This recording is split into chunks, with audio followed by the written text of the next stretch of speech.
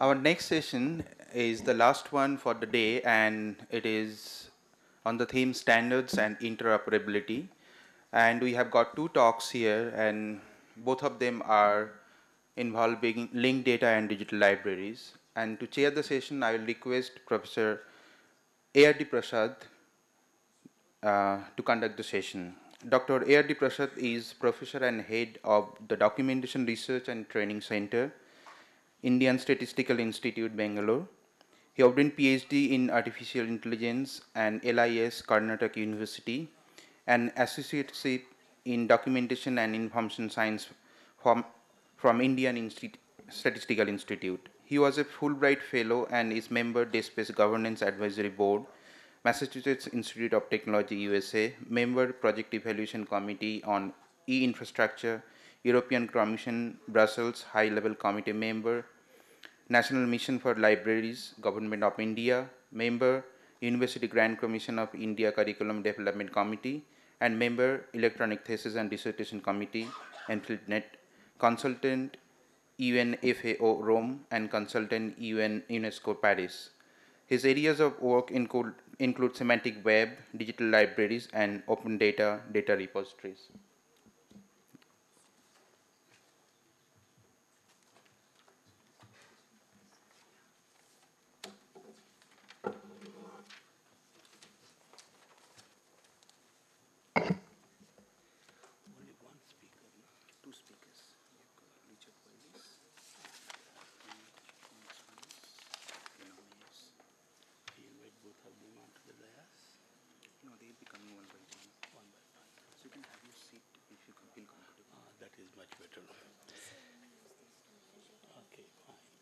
Uh, dear friends, uh, first uh, let me thank the organizers uh, for inviting me to chair this uh, session of the longest day.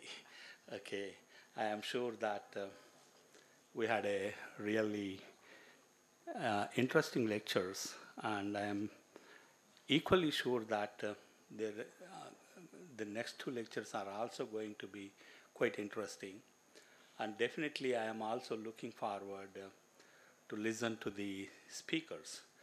The first one, which we also started uh, working, which is on the linked data.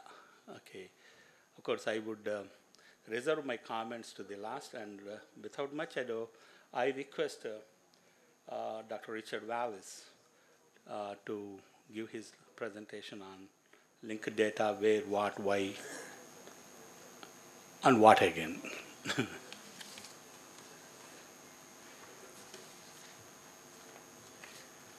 Here we go. Um, with, uh, I used to have the title Technology Evangelist, and it's fatal. the moment you use the word technology, the technology just refuses to work for you. Anyway, um, brief, brief overview of me. I've been rattling around the computing industry much longer than I would like to admit. Uh, and I've ended up as an independent consultant and evangelist and founder of my own consultancy company, me, uh, called Data Liberate.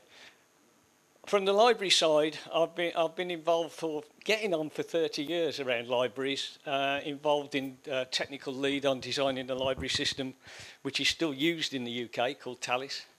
Uh, uh, 12 years or so in the semantic web world.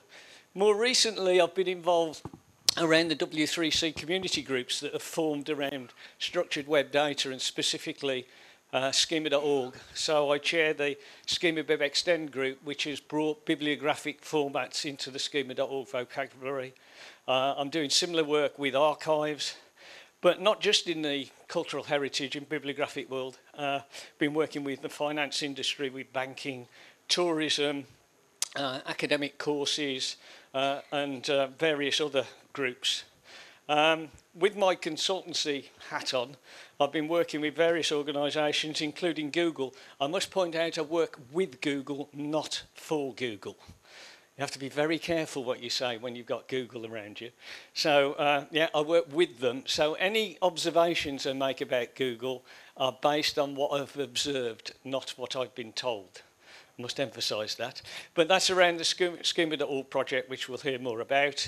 Uh, I was employed as technology evangelist with OCLC for several years, and, and after I left them, I've, I've continued to do little bits of work with them, advising them on linked data, schema.org, doing presentations on be their behalf, etc. As I say, I worked with the Financial Industry Business Ontology Group, so if you think trying to get bibliographic data on the web's a challenge, you try banking. It's incredible. Um, and various uh, clients training, implementing, advising, etc. couple of names relevant to this community. We've got Europeana, National Library Board of Singapore, British Library, and one or two others. Anyway, less about me and why am I here? Um, the headline is I'm talking about linked data, where, what, why, what. Strange title, and I'm probably not a good one, but never mind. What I'm trying to do is answer some questions that I keep getting asked. So, where did linked data come from is a favourite one. Um, it seems to have come from left field for a lot of people, and they're, they're, they're not really sure where it came from. And then they say, and, and what is it?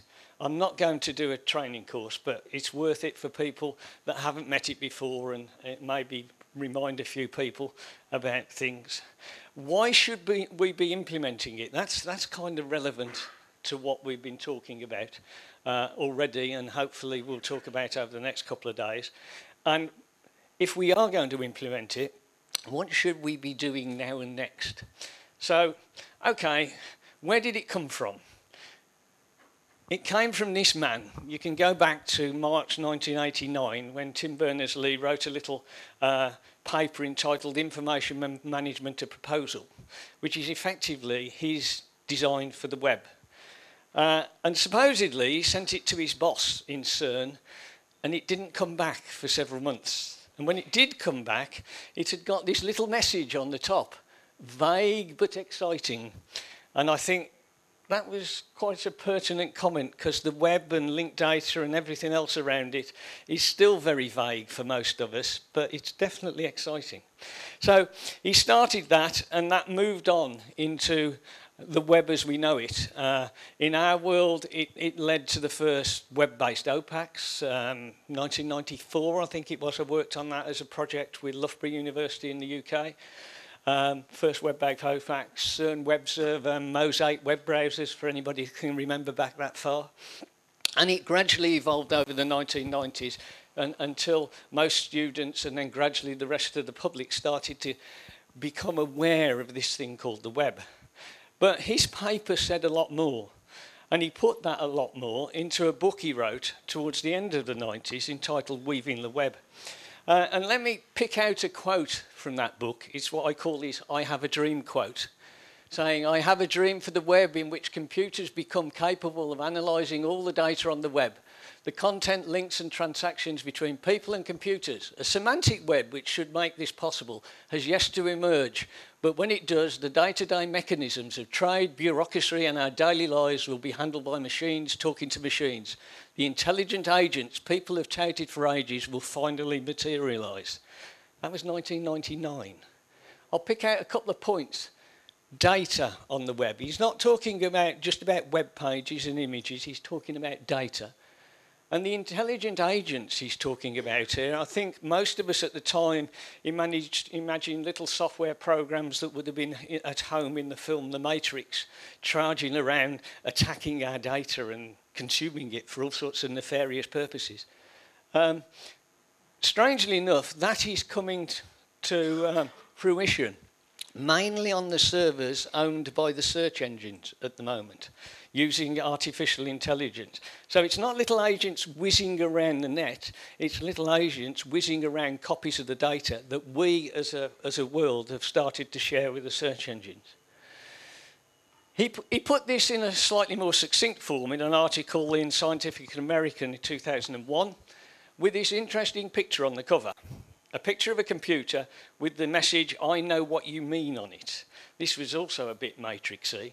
Uh, and um, started, gave the semantic web a bit of a bad press. It, it moved into understanding what people's intent were from analysing their context and what they were doing. And it, we ended up in sort of um, computer science labs with huge, great uh, computers whirring away on data sets, coming up with all sorts of wonderful things. And it, they, they, were really powerful till you added the second user and then it all ground to a halt, etc. But it, it got the reputation of being a technology that would never come. Flying cars technology, technology you know, great idea, but it'll never happen type. And I think Tim and a lot of others got frustrated by this. But there was a lot of power and capability in what was being suggested as the semantic web. There were standards being evolved behind the scenes to make it happen, but it was having no real beneficial impact on the wider web. So what he did was pull those standards together, pragmatically they apply them to real situations and slap a new label on it. And that new label was linked data. The principles behind linked data uh, uh, are all the principles that were underlying the semantic web. And the standards that the W3C had put together um, were the same as well. So he packaged it up in a way that people outside of computer science labs can understand it. And, and this TED talk he did in 2009 put it together really well. well still well worth a 15 minute watch, uh, that particular TED talk. And this had some impact. People started to take up these principles, openly license data, and put it on the web using these principles. And, and this started to form what called the linked open data cloud, which evolved over a period of years from two or three nodes back in 2006 to here we're in 2010. Uh, I haven't put the later versions because you can't read them. um, but the, these were openly licensed data sets for things like Wikipedia, which was in the D, uh, DBpedia set. There was a few libraries that got involved with this. German National Library, something some the Swedish and one or two others started to take linked data seriously and put up their own linked data set. Um, which led to what I would call a seminal development in our world, which was this, which was the British National Bibliography for which the British Library uh, and a company called Talis, who I was working with at the time, put this data model together. Um, and what was different about this, instead of taking library data in the formats that we were all used to at that time and just translating it to the new semantic web linked data standards, this went back to first principles and looked at the things in the world of libraries, the entities, people, places, events, um, works, etc., and use linked data to describe them from scratch. And most linked data developments in our community have kind of followed this pattern ever since. So that's where it came from. So what is it? Linked data, as I say, built on semantic web standards, is all about identifying and linking things, any old thing. This isn't specific to our world. This could be uh, movies, it could be rocket ships, it could be mountains, it could be anything. Any old thing, it's about defining it. But identifying those things, that's key. So here's, here's a brief example, deliberately outside of our world, but we would understand. Here's a thing, it's a spacecraft. Imagine you were in the position of the person that was looking after this at Cape Canaveral before they strapped it to a rocket and sent it up into the sky. Um, like anything else, if you're looking after lots of things, you tend to identify them. You give them a number or a, or a reference of some sort, and this is the reference for this particular spacecraft. Gives a clue when it was sent into the sky and perhaps where it was going. But uh, so there's the reference. But if you're looking after other things other than spacecraft, you might want to categorize them to be bicycles and sweeping brooms and food or something like that. So you would take a, a, an approach of probably categorizing your reference. So you've got an understanding what it's about. You're not the only space agency on the planet. The Russians, the Japanese, the Indians, every, everybody seems to have their own space agency now. So, okay, maybe not for an Apollo spacecraft, but other components, it's quite possible somebody else will use the same reference as you. So you would want to make this reference globally unique. So what as an organisation have you got that's globally unique in this modern world? Your internet domain name. So if you prefix your identification with an internet domain name, that's going to be globally unique. starting to look a bit like a web address. So why not make it one and put http colon slash slash on the front and say, I could put that into a web browser, and if I was a good internet citizen, I might give you some information back about that thing. So what we've created is a URI, a Uniform Resource Identifier, and that's the key. That letter I is the most important element of that acronym. It looks like a web address, it may well behave like one, but that's not its primary purpose. It's just a unique, great long string of characters. So things have attributes. So this thing has got a mass and it's got a name and it's got another name. Uh, it's even another name. It's something to do with the United States, Cape Canaveral, Saturn V, and a photograph of it. So uh, you would want to capture those in some form of system to manage your, your assets that you're talking about. So somebody comes to you and say, explain how your system works. And invariably, when somebody says that, you usually walk in the direction of a whiteboard and pick up a pen. And when you do that, you end up drawing something like this. I've got this thing with this reference, and okay, the reference is too long to fit in the oval, so we'll chop the beginning off, but http colon slash slash definitely there. Uh, and it's got this mass attribute, and it's got a, uh, a name attribute, and it's got another name attribute, uh, and it's got a, a relationship with another thing an event in this case, a, a launch event, which has got its own reference, which has got its own attribute of a date and a relationship with a place this time, so, uh, a, uh, with a site relationship to Cape Canaveral, which has got its own latitude and longitude. What you're looking at there is RDF, Resource Description Framework, one of the standards that were put together to enable the semantic web, capturing very, very simple data. Perfectly valid RDF, that. Not a lot of good if you've got a computer. Try posting that through the disk drive and it won't read it. So what you need to do is put it in a form a computer understands. So we'll take those individual relationship, a thing with a mass of a number, and individually put those three element statements one at a time into the computer, into any old order. So what we're saying here, we've got this thing with this reference, HTTP whatever, that's got a mass of 28, whatever. It's got a name relationship of that, another name relationship of that, a launch relationship with another thing. So you can see the syntax here. If, it, if, it's, in, if it's in angled brackets, it's the URI of a thing. If it's anything else, it's either a string or a number or something like that. And that's how you carry on and do it. So that is a triple. Three elements. This is an RDF triple a thing with an attribute with a value, often called a property. So we've got a thing with a property that's got a value. But we can also, as we saw from the diagram, have things that has a property of another thing. Now, some people say to me, RDF's complicated. That's it. There are only two types of triple in RDF, either thing property value or thing property thing.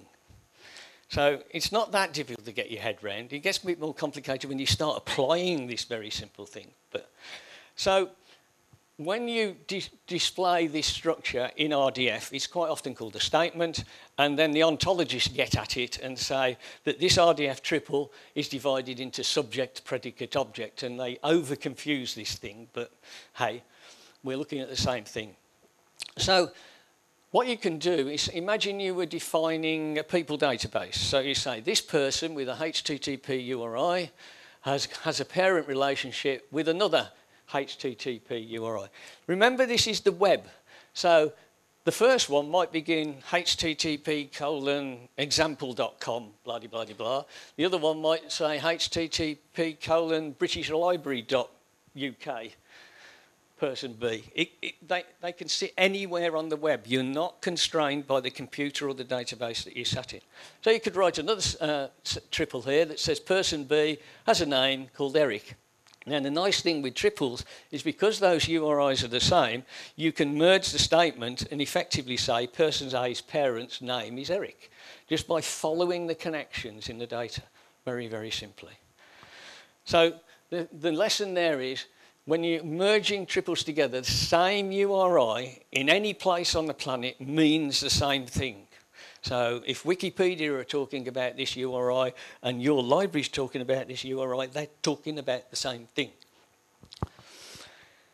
uh, little, little example in our world, imagine you've built a data set with an article in it which has got its own reference, uh, date and name, uh, properties, an author relationship to a person entity, this time with of birth name, uh, another relationship of type per, part of, say, to a journal issue with, with its name, which has got a part of relationship to the journal itself with its name, which has got a publisher relationship to an organisation with a name.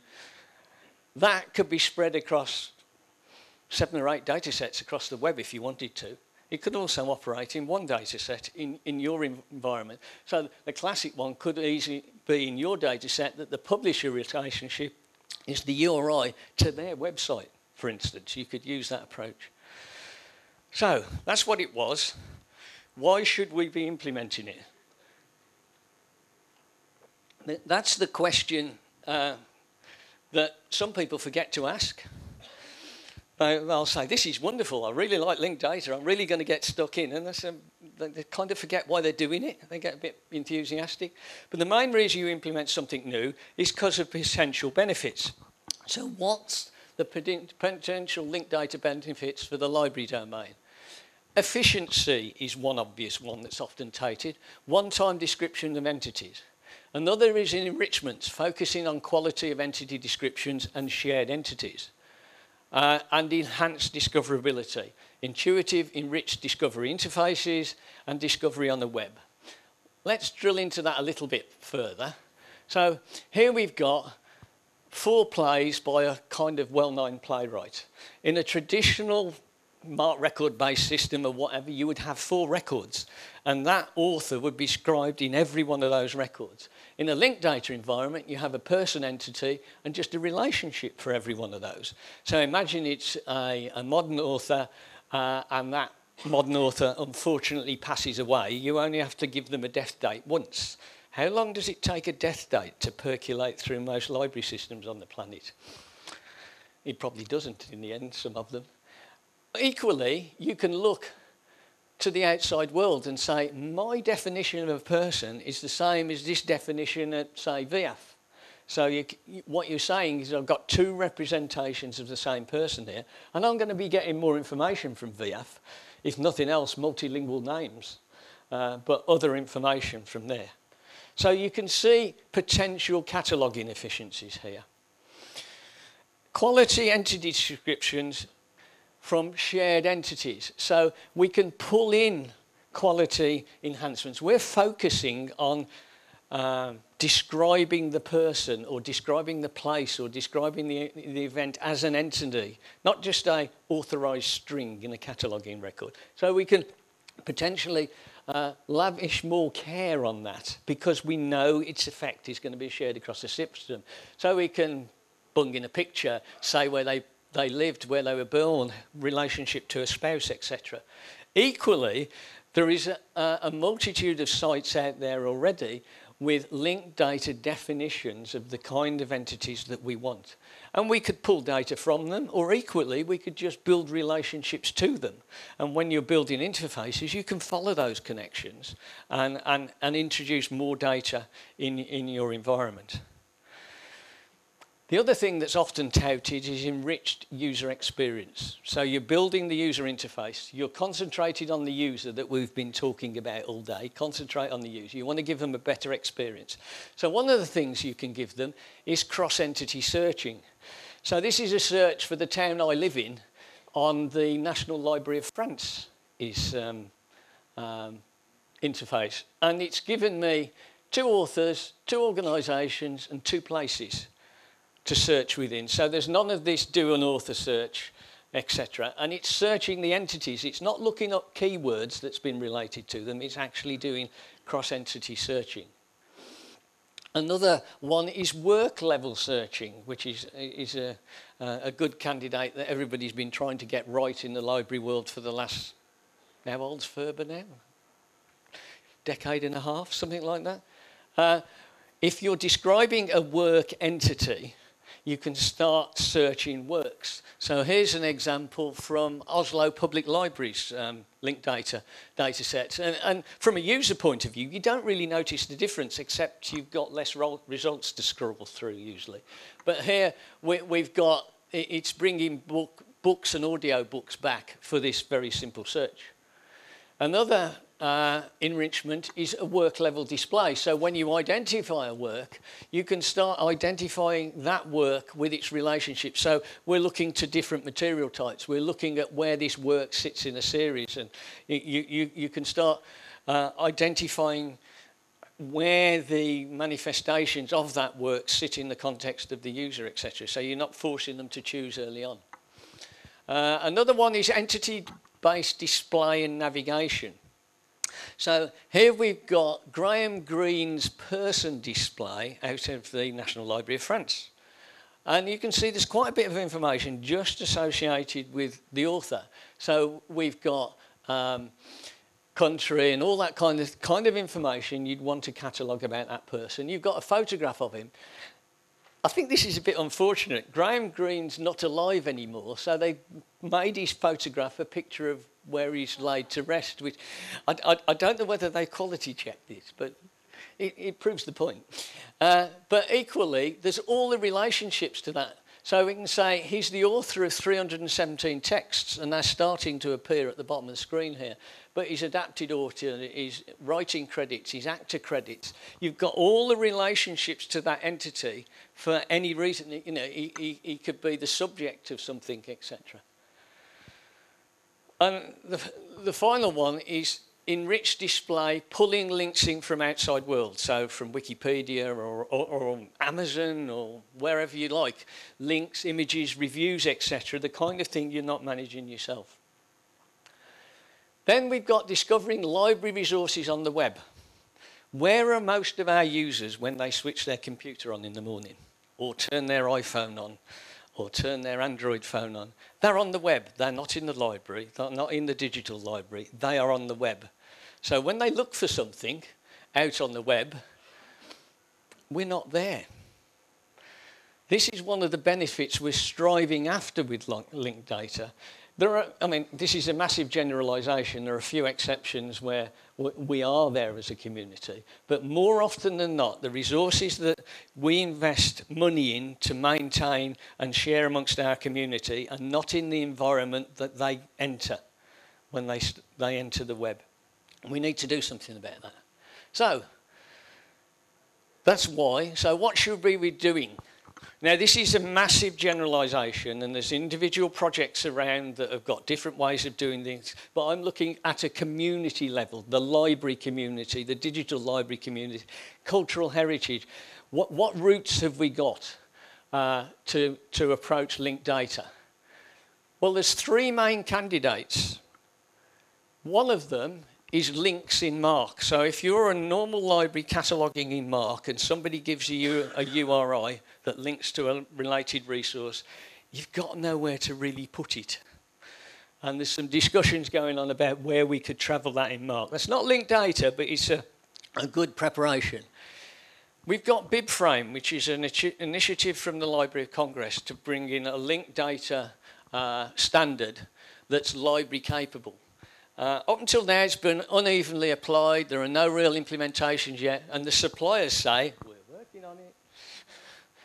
And finally, the schema.org, a global shared generic standard, not library specific at all, sponsored and demanded by Google and the other search engines. I'll explain what that means in a minute, but already adopted on 30% of the web pages on the web. Tens of millions of websites already implement this. Not good enough for library quality cataloguing, though. So, you know, there's some challenges here. So let's do in a, a, because what I'm saying is we need to be thinking about all three of these. There isn't a silver bullet. So links in MARCs, talking about resolvable HTTP links put into subfield zero. This is reviewed by the PCC URI committee in, in the States. Um, and, and they haven't gone as far as recommending it, but read between the lines and they are. Uh, and notice I use the word resolvable HTTP. Catalogers are very good at putting URL colon HTTP and other rubbish in, in, in the subfield around it. What you want is to be able to take the contents of the subfield, paste it into a web browser, and you go to that address. Um, supported by the MarcEdit tool. Anybody using MarcEdit to manage metadata? Very powerful open source tool, uh, highly recommend it, and that already supports this approach. Partially supported by OCLC. I say partially because if you've got the right, uh, right uh, agreement with OCLC, there's a few national libraries that do it, they will bring in sub, uh, subfield dollar zero. Uh, so that tells me it's not a major leap for mankind for them to do it for everybody. And uh, there are OCLC representatives on that PCC URI committee. Uh, don't throw away the links you have. Increasingly, we're getting links in our environment. We've got nowhere to put them. You know, we hear about, uh, we decided on Dublin Core and threw away a lot of useful data. You know, don't do it with links. It will come in handy someday. Uh, share the links using current systems and technology support link-based developments. You could pick those links up in a bespoke discovery interface if you wanted to.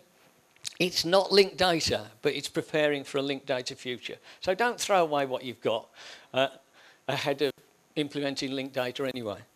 Library of Congress standard BibFrame, uh, introduced 2012 as a linked data successor to MARC. Really bold statement, upset a few people.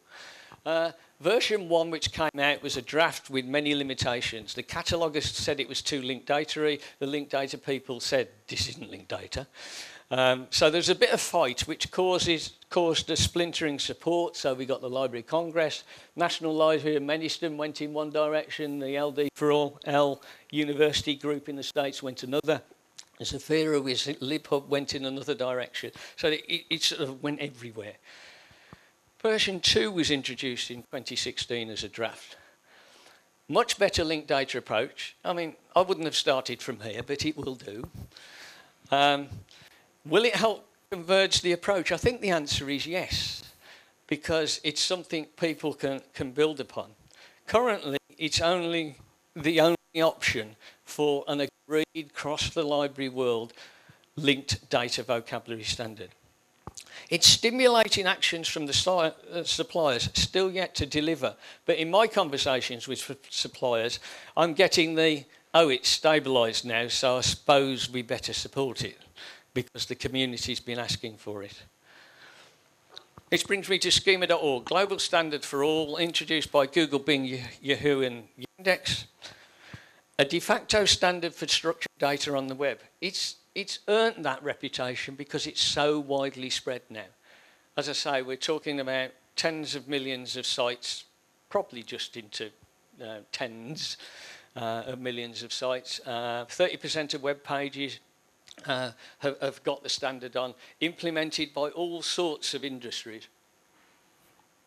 Uh, commercial retail world, you, you go to a, onto a fashion site or a shoe site or a site selling tickets to rock concerts or whatever, go look inside the pages, schema.org will be there.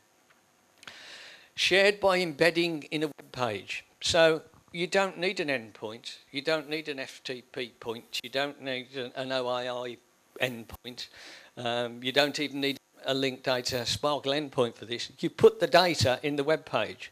So I'm not expecting you to understand this, but here out of a web page is a script tag, a standard script tag you'll find in most HTML pages, and there is the schema.org linked data just embedded in the page. So your website becomes your API. It means that the search engines, when they're looking for the data, just go and look at the relevant page and suck the data out of it. So they haven't got to invent a new process, and you haven't got to invent a new process. You just use the crawling techniques that are already used for web pages. Search engines only look for schema.org data. That's a bit of a generalization. They do look for other odd things. Uh, Facebook uh, protocol, for instance. But almost certainly, they don't look for BibFrame, and the chances of them looking for any of the standard library linked data formats embedded in the web page is exceedingly remote. Uh, we may be a lot of libraries on the world, but in their view, we're kind of a small community. Not that they don't want to get in, involved with us, but I doubt if they're going to invent, invent new ways of pick, picking data up. So to be discovered, you need to share data using schema. It's a broad vocabulary with 1,500 terms in it, approximately. So it can describe volcanoes, aeroplanes, uh, musical scores, etc., etc. But it can also describe bibliographic data, and the W3C committee that I was involved with spent a couple of years adding in all the features to describe most of what you would want to share with the world about bibliographic library and, and similar resources. And I'm doing the same sort of thing with archives at the moment. So, uh, okay, it's, it's, it's not a cataloguing vo vocabulary. It's, oh, by the way, it was implemented in WorldCat and it's there for sharing for web discovery. So if you want to tell Google what you've got, and if you want Google to di direct users to your resources, you kind of need to tell them. You need to take this approach. So we're talking about what I would like to call linky MARC. Good first step, but not linked data. BibFrame, the basis for a broad library linked data adoption, and schema.org we need to adopt as well as internal library linked data. If we want to stay relevant, if we want to, you know, when people say, when they're in the National Digital Library, XYZ will happen, we miss the step. How do they get to the National Digital Library in the first place? You're not stood on their shoulder half the time. Um, so you know, if we want our resources to be relevant to our potential users, they've got to find our resources. And the way that's happening increasingly in the world that we're in at the moment, where we're moving towards voice-based interfaces. So, hey Alexa, what's the next novel in this series and which library can you reserve it at me for? Where's your user interface in that? It's not.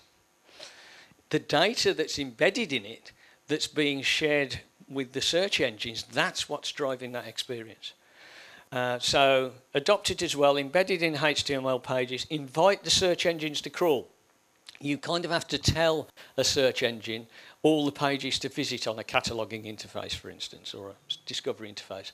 Become part of the global web and the knowledge graphs that the search engines are building up because that's where their intelligent agents are traveling around those knowledge graphs, learning what's there, learning the user context, and directing the user to the right sort of data. Um, there's some initial technical challenges when you say invite search engines to crawl quite often I'll talk to system managers in libraries and say, invite Google to crawl your, your OPAC or your discovery interface, and they run away and hide. And that's basically because most library systems, up until about three or four years ago, were based on technology that was designed in the early 1990s that didn't think of search engines crawling. So we need to move through a technological change, but we're doing that anyway. So whatever interfaces you are building, Imagine the crawler from the search engines parsing it when you're talking about load testing. So, coming to the end here, a, a little summary report of my wander through linked data history. Where did linked data come from? Part of the web's design from the beginning, pragmatic application of semantic web techniques. What is linked data? HTTP URIs to identify things, generic RDF very simple data format. Identify, describe and relate entities. That's its purpose. Shared open vocabularies. And in our particular world, I've been talking about schema.org, which is globally shared. BibFrame, which looks like it's going to be a candidate for, for vocabularies in, uh, uh, in, in libraries. Why should we implement it? Efficiencies, enrichments, enhanced discovery discovery via the web, and th that is the real key in enhanced discovery. You know, you can spend several million dollars building the best discovery interface on the planet, and if nobody knows where it is, or they're not directed to it because it contains something that might be useful to them, you might not as well have spent the several million dollars in the first place. Uh, what should we be doing now?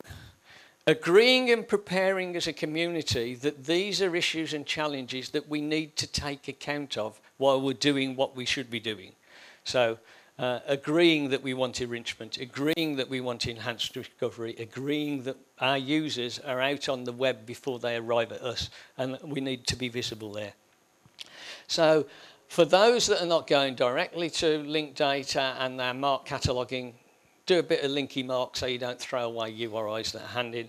BibFrame and schema.org. Say massive generalisation this, but in my eyes, that's the direction I think we're going in. Pressurise the suppliers. They're working on it. Uh, if we're saying in my tender for my new library system, I want to know how you're going to implement schema.org, that will make them actually get on with it. I, I do believe they're actually getting on with it. Uh, and we need to get on with it. This has been a topic of interest at library conferences that I've attended since 2006. We need to get on with it because it's going to be valuable to us. Thank you.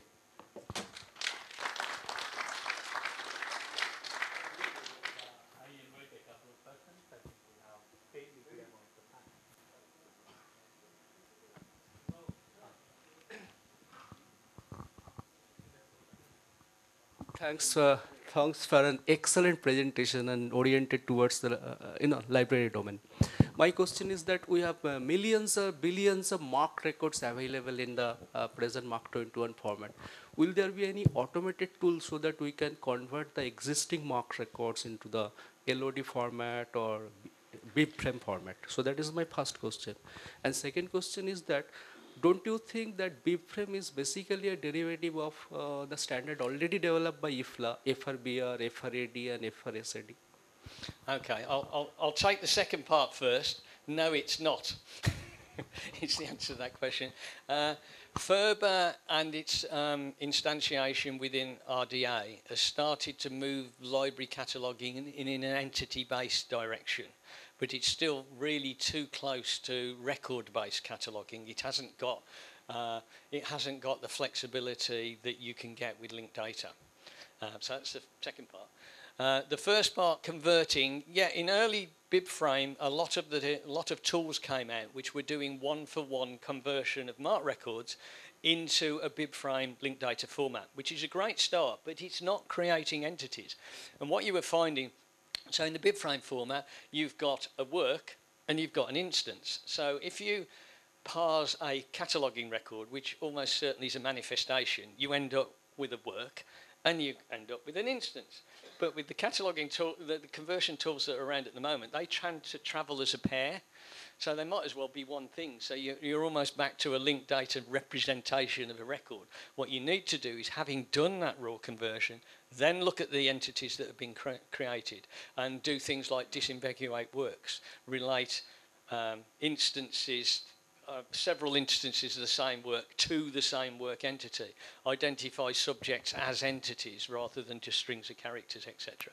So there is there are conversion tools there which will get, you the if you like the raw materials in linked data format, but you can't leave it just like that. You need to process it to identify the entities in, in, in the data as you move through it. There are people doing this. OCLC have done, done a lot of work in this area, uh, and th they produce their works data set by doing exactly that sort of operation on the manifestations that populate WorldCat. They've done that processing and produced a set of work entities. They've they are in the process of trying to produce a set of person entities, and then there'll be subject entities and event entities, and gradually we'll build these up. But what you should be able to do is build on the efforts of other people. So what I'm seeing is people have done a raw conversion from MARC to BibFrame, so they end up with a work, and then they'll use the OCLC work entity as a lookup comparison to say, this is the same as that OCLC work, and then another one will be the same as the same OCLC entity. So you can then merge yours together based on the fact that they're both the same as the OCLC one. So there are lot, lots of tools to operate in that environment.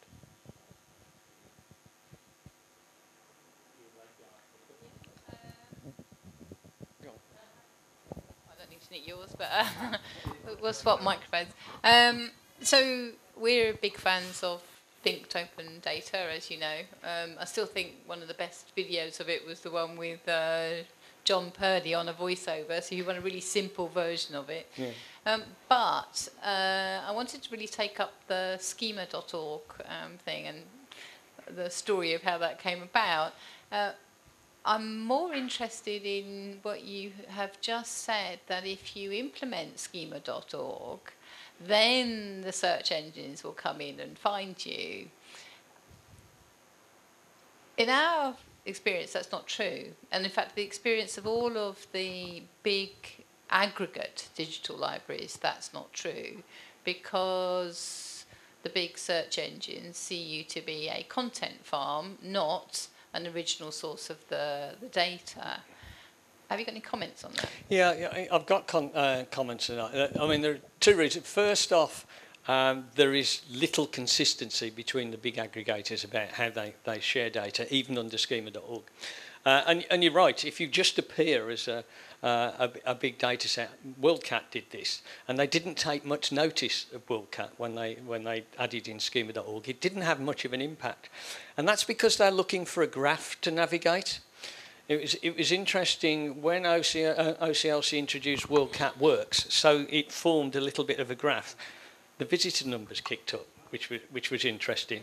And, in it's interlinking, and like any other data set, if you just published DBpedia and nobody linked to it, they would treat it exactly the same way that they're treating people like Europeana at the moment. It's, it's a big data set that doesn't really go anywhere. And links within linked data has farmed into a knowledge graph. Um, leans on a lot of the old page rank algorithms. So as people like you to become the authority for entities and then other people start using your authority to justify that their entity is the same as yours, we start to build a graph across the web and that's exactly what the search engines are looking for to navigate when they're looking for context. So uh, that experience does not surprise me in, in the initial stages and some people as well don't really link out much I, I know you link out a little bit, but um, ideally every entity could do with a couple of three external links pointing Yeah. to all sorts of places. Yeah, so so we uh, that makes sense in terms of we're developing these entity pages so that it does exactly that. It has the links in between. Um, I'm curious as to know whether that's really going to work. But, uh, Well, it, it's kind of what you see happening on the wider web, where where um, you know I, I- I work with some people in the SEO community looking at the benefits of linked data, and I say I put linked data on my website, I put schema.org there, nothing happened. And in some form of system to manage your, your assets that you're talking about. So somebody comes to you and say, explain how your system works. And invariably, when somebody says that, you usually walk in the direction of a whiteboard and pick up a pen. And when you do that, you end up drawing something like this. I've got this thing with this reference, and okay, the reference is too long to fit in the oval, so we'll chop the beginning off. But HTTP colon slash slash definitely there. Uh, and it's got this mass attribute, and it's got a, uh, a name attribute, and it's got another name attribute, uh, and it's got a relationship with another thing, an event in this case, a, a launch event, which has got its own reference, which has got its own attribute of a date, and a relationship with a place this time, uh, a uh, with a site relationship to Cape Canaveral, which has got its own latitude and longitude. What you're looking at there is RDF, Resource Description Framework, one of the standards that were put together to enable the semantic web, capturing very, very simple data. Perfectly valid RDF, that. Not a lot of good if you've got a computer. Try posting that through the disk drive and it won't read it. So what you need to do is put it in a form a computer understands. So we'll take those individual relationship, a thing with a mass of a number, and individually put those three element statements one at a time into the computer, into any old order. So what we're saying here, we've got this thing with this reference, HTTP, whatever, that's got a mass of 28, whatever. It's got a name relationship of that, another name relationship of that, a launch relationship with another thing. So you can see the syntax here. If, it, if, it's, in, if it's in angled brackets, it's the URI of a thing. If it's anything else, it's either a string or a number or something like that. And that's how you carry on and do it. So that is a triple. Three elements. This is an RDF triple. A thing with an attribute with a value. Often called a property. So we've got thing with a property that's got a value. But we can also, as we saw from the diagram, have things that has a property of another thing. Now, some people say to me, RDF's complicated. That's it. There are only two types of triple in RDF, either thing property value or thing property thing.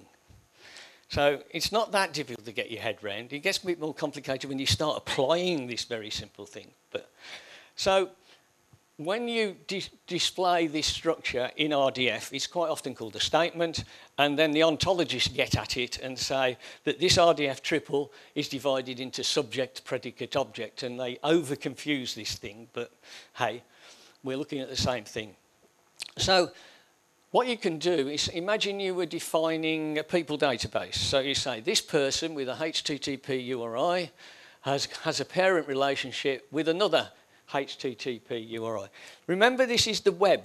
So the first one might begin http colon example.com, blah, blah, blah. The other one might say http colon britishlibrary.uk, person B. It, it, they, they can sit anywhere on the web. You're not constrained by the computer or the database that you sat in. So you could write another uh, triple here that says person B has a name called Eric. Now, the nice thing with triples is because those URIs are the same, you can merge the statement and effectively say person A's parent's name is Eric, just by following the connections in the data, very, very simply. So the, the lesson there is when you're merging triples together, the same URI in any place on the planet means the same thing. So if Wikipedia are talking about this URI and your library is talking about this URI, they're talking about the same thing. Uh, little, little example in our world, imagine you've built a data set with an article in it which has got its own reference, uh, date and name uh, properties, an author relationship to a person entity, this time with date of birth and name, uh, another relationship of type per, part of, say, to a journal issue with, with its name, which has got a part of relationship to the journal itself with its name, which has got a publisher relationship to an organisation with a name.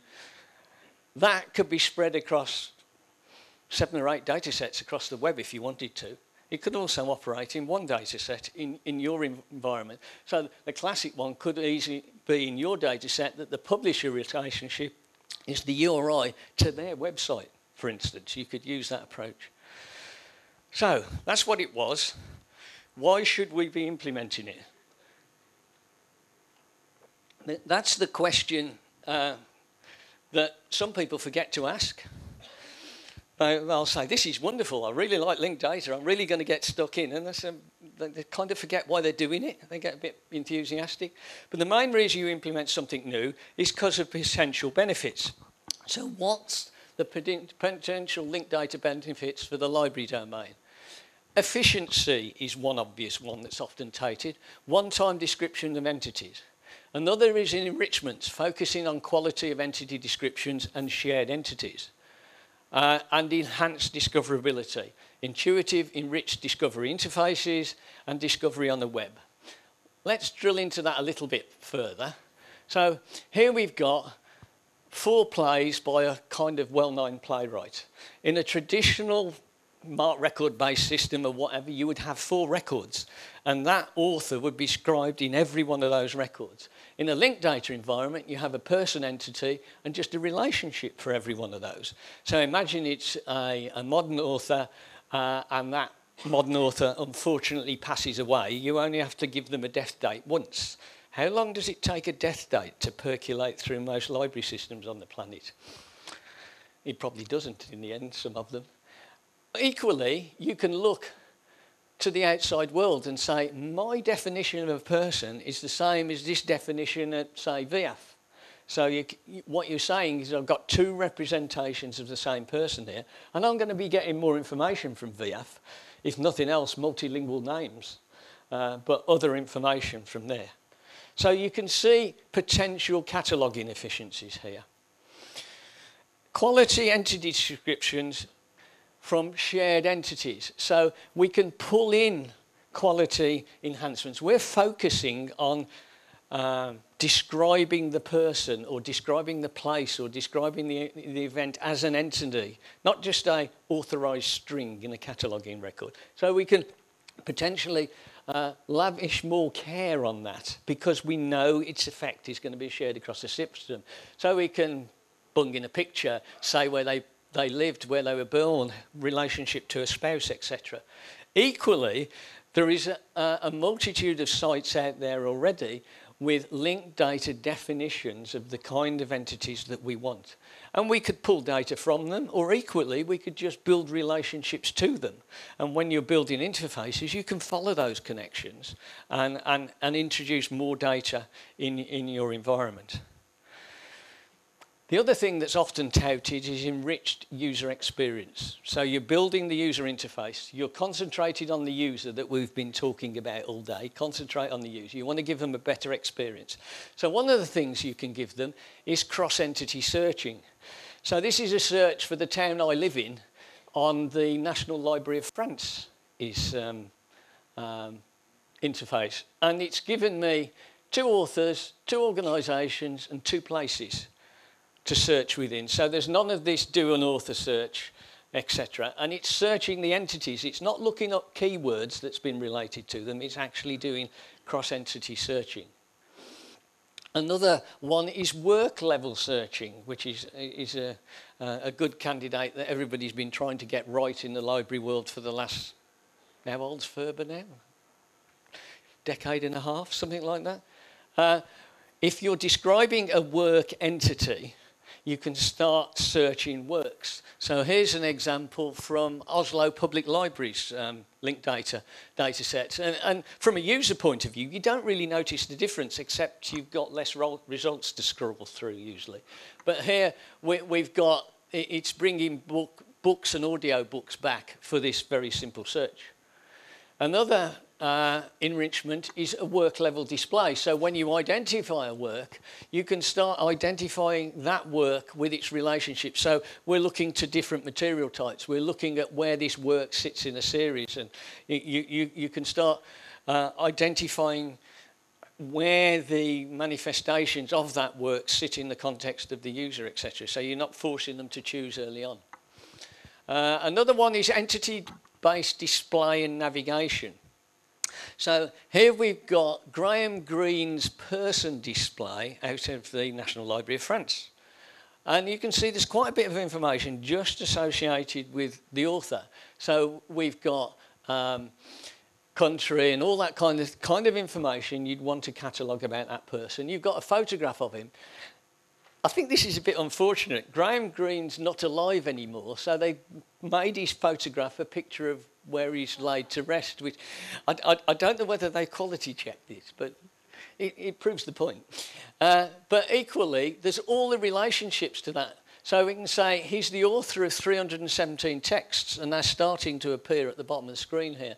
But he's adapted author, he's writing credits, he's actor credits. You've got all the relationships to that entity for any reason. You know, he, he, he could be the subject of something, etc. And the, the final one is enriched display, pulling links in from outside world, so from Wikipedia or, or, or Amazon or wherever you like, links, images, reviews, etc., the kind of thing you're not managing yourself. Then we've got discovering library resources on the web. Where are most of our users when they switch their computer on in the morning or turn their iPhone on or turn their Android phone on. They're on the web. They're not in the library. They're not in the digital library. They are on the web. So when they look for something out on the web, we're not there.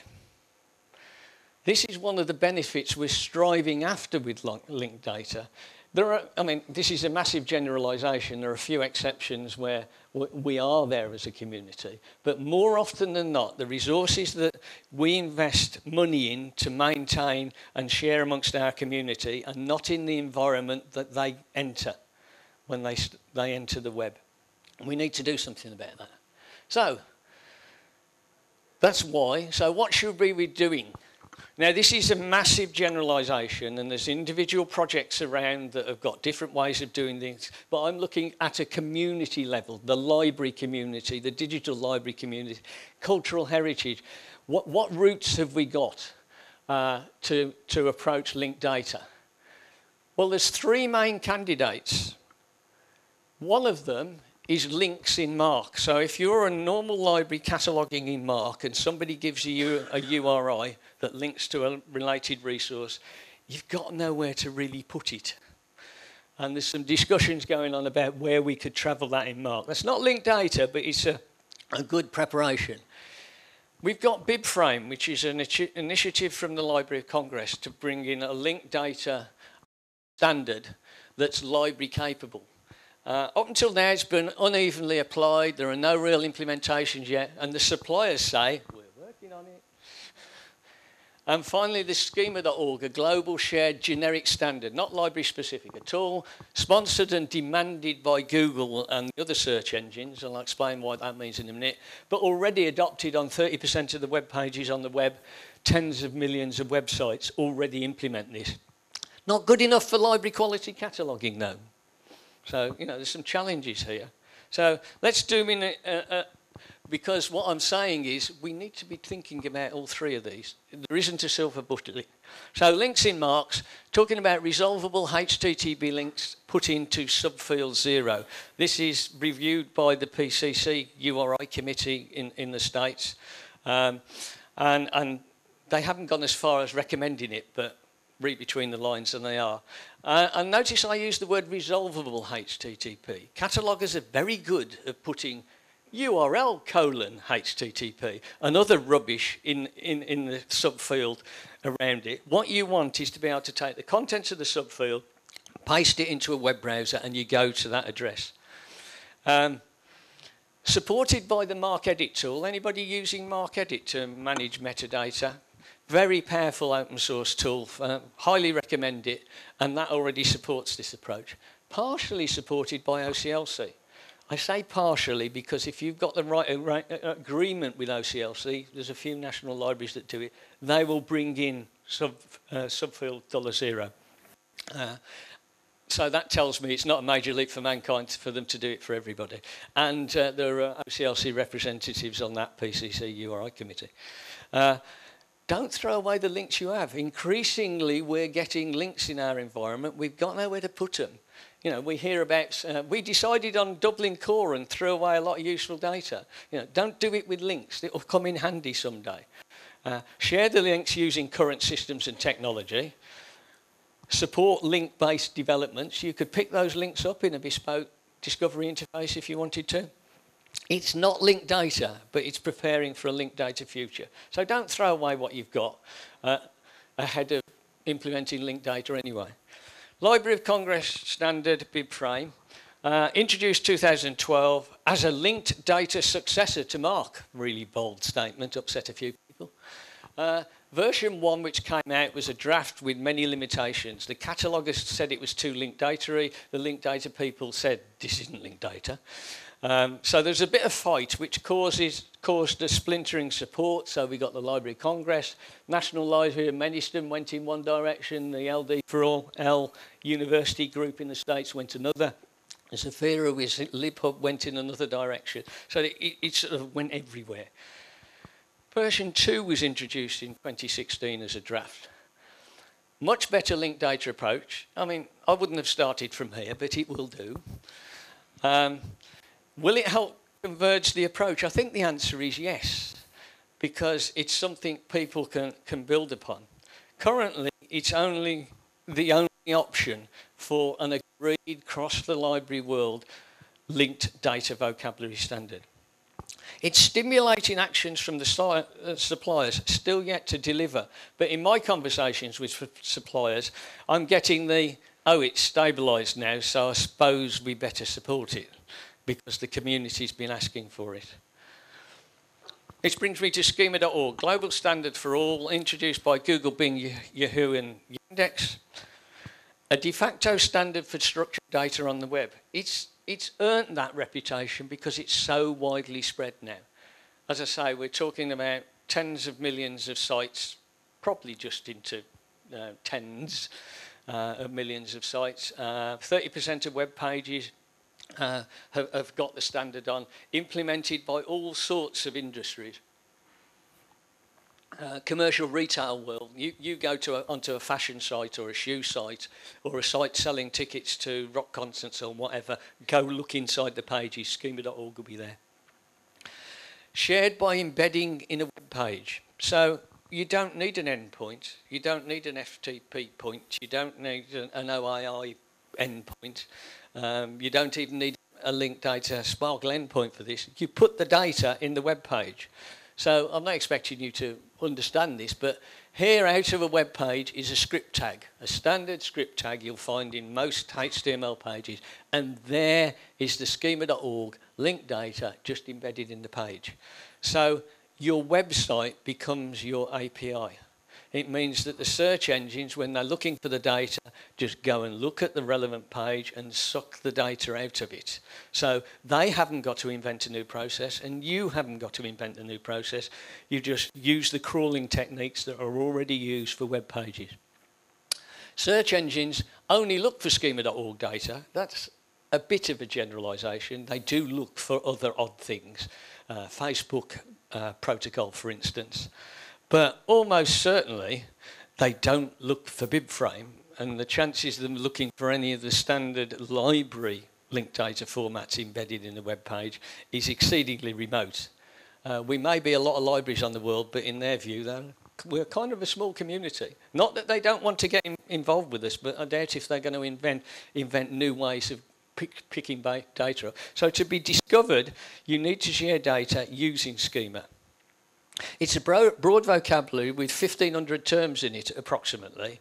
So it can describe volcanoes, aeroplanes, uh, musical schools, etc., etc. But it can also describe bibliographic data, and the W3C committee that I was involved with spent a couple of years adding in all the features to describe most of what you would want to share with the world about bibliographic, library, and, and similar resources. And I'm doing the same sort of thing with archives at the moment.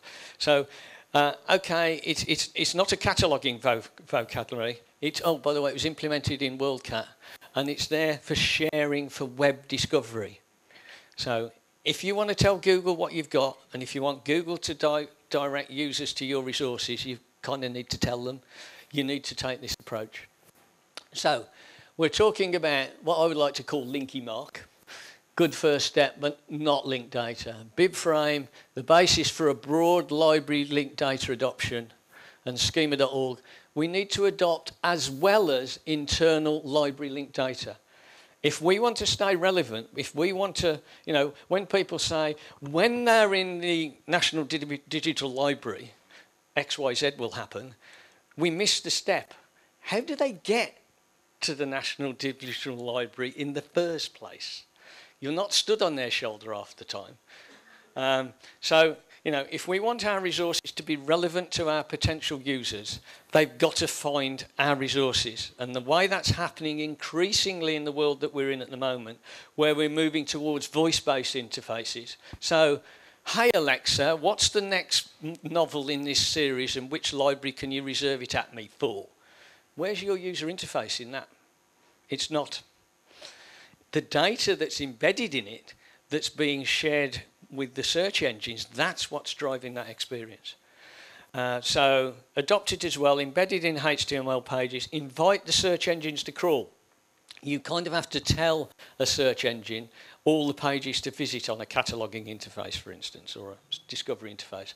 Become part of the global web and the knowledge graphs that the search engines are building up because that's where their intelligent agents are traveling around those knowledge graphs, learning what's there, learning the user context, and directing the user to the right sort of data.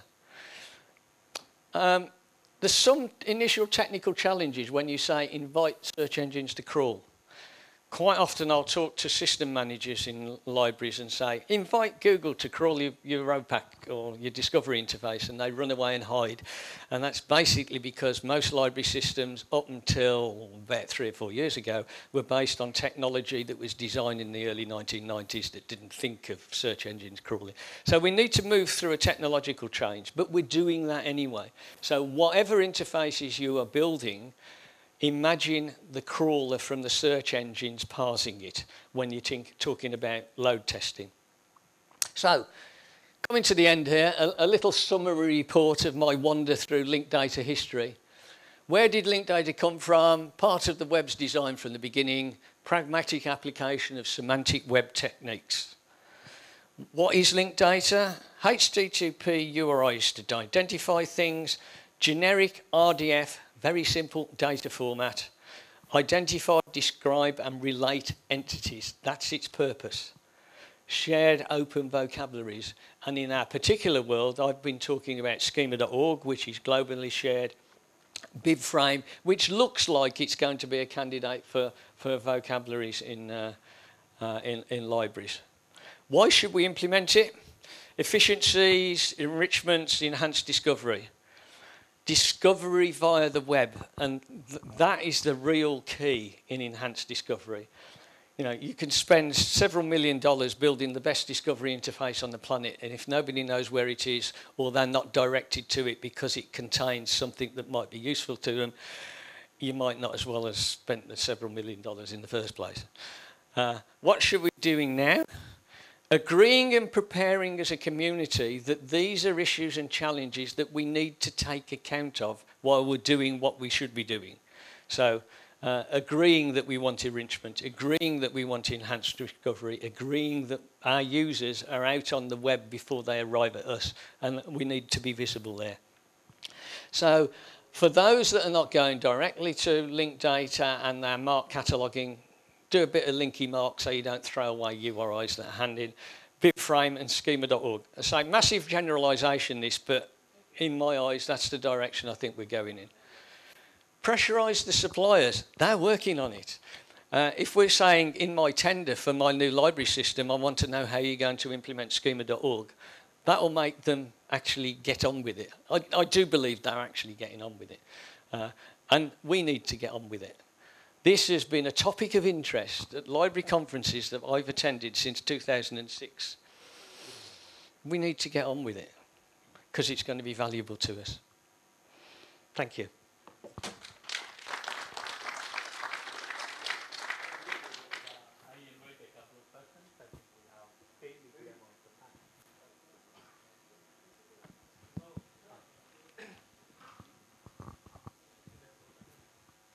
Thanks, uh, thanks for an excellent presentation and oriented towards the uh, you know library domain. My question is that we have uh, millions or billions of MARC records available in the uh, present MARC 21 format. Will there be any automated tool so that we can convert the existing MARC records into the LOD format or BibFrame format? So that is my first question. And second question is that don't you think that BibFrame is basically a derivative of uh, the standard already developed by IFLA, FRBR, FRAD, and FRSAD?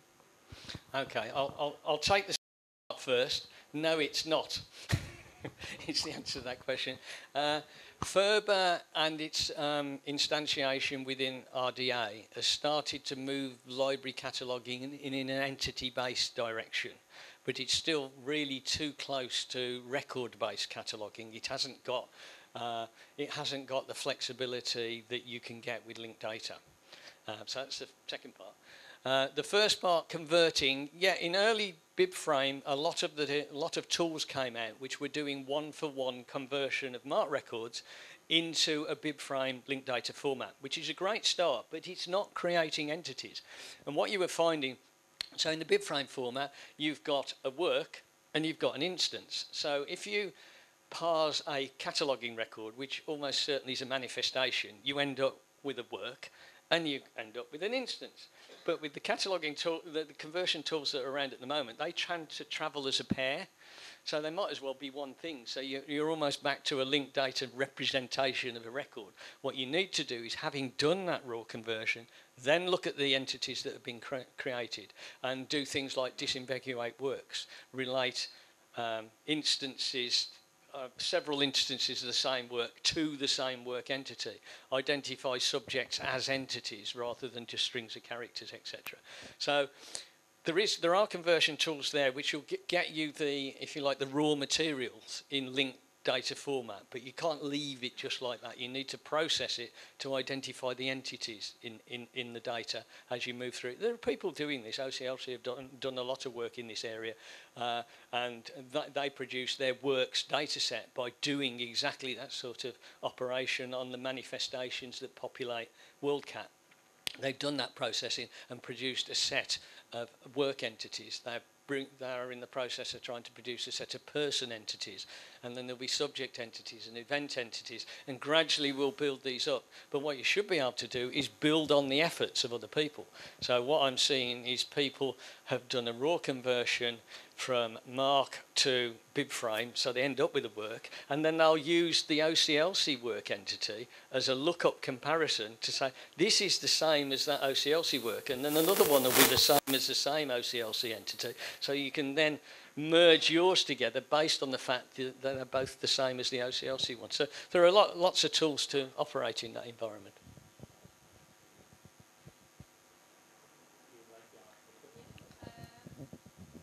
I don't need to need yours, but uh, we'll swap microphones. Um, so we're big fans of Linked Open Data, as you know. Um, I still think one of the best videos of it was the one with uh, John Purdy on a voiceover, so you want a really simple version of it. Yeah. Um, but uh, I wanted to really take up the schema.org um, thing and the story of how that came about. Uh, I'm more interested in what you have just said that if you implement schema.org, then the search engines will come in and find you. In our experience, that's not true. And in fact, the experience of all of the big aggregate digital libraries, that's not true because the big search engines see you to be a content farm, not an original source of the, the data. Have you got any comments on that? Yeah, yeah I've got uh, comments on that. I mean, there are two reasons. First off, um, there is little consistency between the big aggregators about how they, they share data, even under schema.org. Uh, and, and you're right, if you just appear as a, uh, a, a, big data set, WorldCat did this, and they didn't take much notice of WorldCat when they, when they added in schema.org. It didn't have much of an impact. And that's because they're looking for a graph to navigate.